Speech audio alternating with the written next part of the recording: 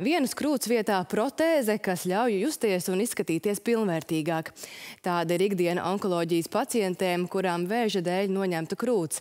Valsts apmaksā krūts rekonstrukciju, taču visām sievietēm, kam tas nepieciešams, naudas varētu nepietikt. Turklāt simetrizācija jeb izlīdzināšanas operācija nepieciešama arī otrai, veselajai krūtī, bet tam valsts naudu nepiešķir. Plašāk stāsta Īveta komisāra Godorņičija no Zemgales reģionālās televīzijas.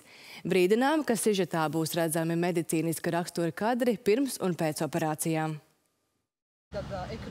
Kitijai krūts vēzi atklāja 2010. gadā, un tad arī viņai veica pirmās krūts mastektomiju. Desmit gadus viņa krūštura tukšajā vietā lika maisiņu jeb ieliekamo protēzi, lai abas krūtis izskatītos vienādas. 2014. gadā kārtējais trieciens – vēzis un mastektomija jāveic arī otrai krūtī, un tad krūšturī bija jāieliek jau divas protēzes. Kitija atzīst, krūts rekonstrukcijas operācija bija būtiska. Visus tos gadus īstenībā ik pa laikam atgriezos pie domas, kad šī rekonstrukcija ir nepieciešama.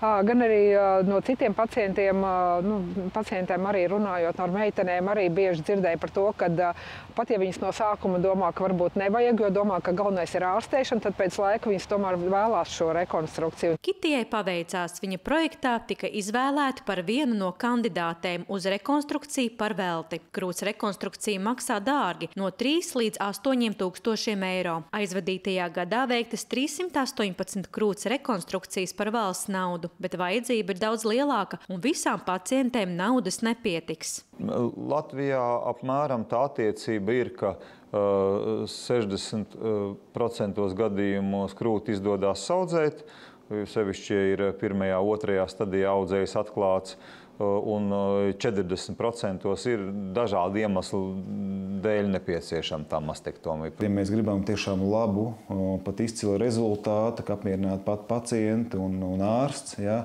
tātad mums vajag sekojošas lietas. Mums ir jāveic arī veselās krūts simetrizācija, ja, jeb pielīdzināšana rekonstruētai krūtī. Ja. Tas ir atkal jau otrā etapā. Tad ir jāveic krūts zirnīša izveide un arī areolas izveide vai rekonstrukcija.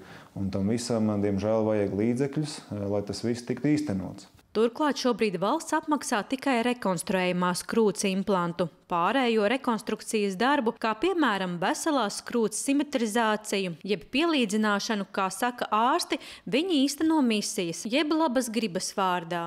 Dzīve iet uz priekšu, ja mēs dzīvojam pēc vēža diagnozes 10 gadus, var 20 gadus un ilgāk, tad, protams, mums arī ķermeņi mainās. Un, nu, ja tas ir implants, tad, protams, viņš nemainās kopā ar visu ķermeni. Un, ja teiksim, tiešām paliek tā, ka uh, ir ļoti asimetriski, tad atkal tas uh, ietekmē arī mugurkaulu veselību un visu pārējo. Veselības ministrijā saka, par to, vai varētu piešķirt vairāk līdzekļu arī veselās krūts simetrizācijai, vēl nevar spriest, jo darbs pie nākamā nākamā gada budžeta vēl nav sākts. Valsts šim gadam piešķīrusi 1,1 miljonu eiro, kas paredz aptuveni 300 rekonstrukcijas operācijas. Iveta komisāra Gorodņičija, Mikus Andersons, Zemgals reģionālā televīzija.